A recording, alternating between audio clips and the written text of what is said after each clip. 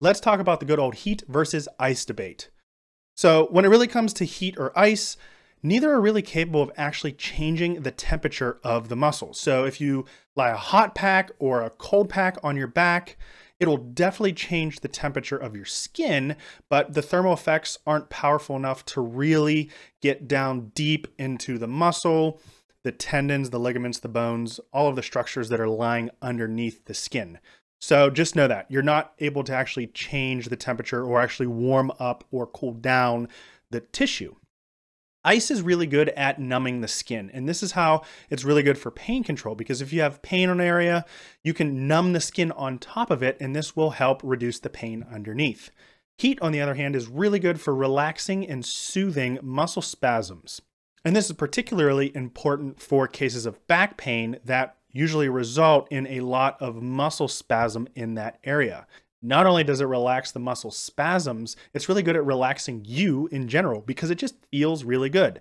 If you're in pain, you tweak your back, you have muscle spasms, putting a hot pack on your low back just feels good overall. And that can help to globally desensitize your entire system.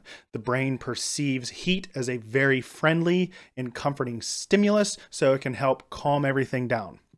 Now, you may want to avoid heat if your back injury is truly a traumatic injury. Now, I'm talking something where there's a true muscle strain, like something severe like a whiplash injury, lifting something extremely heavy, because in these circumstances, there will be an inflammatory component, so inflammation, and it is best to avoid heat in the very early stages in situations where there is inflammation. If there's also any kind of swelling or open wounds, you also want to avoid heat. But traumatic injuries for back pain are actually very rare. Most of the time, back pain is not a traumatic injury. It is done by just moving a certain way or comes out of nowhere.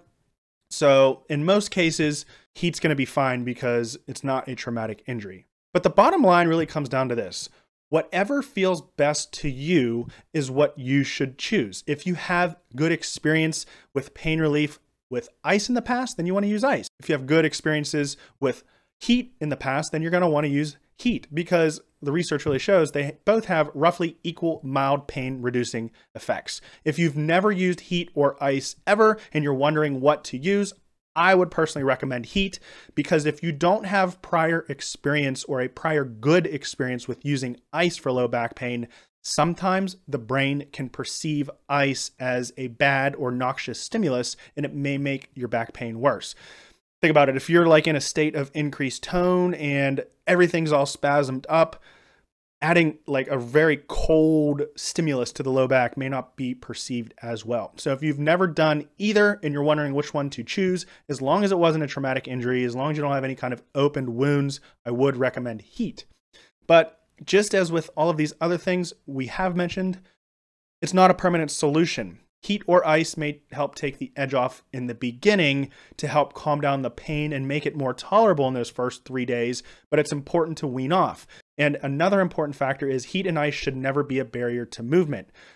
As mentioned in module two, whenever you tweak your back or hurt your back, it's important to get moving and to find tolerable movement patterns. And if you're constantly resting using a heat pack or an ice pack, this may be a barrier to movement.